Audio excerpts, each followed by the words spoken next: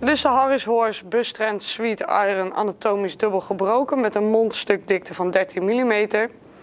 Bit is zoals gezegd een bustrend wat inhoudt dat de bitteringen vastzitten en dus niet los kunnen bewegen door het mondstuk.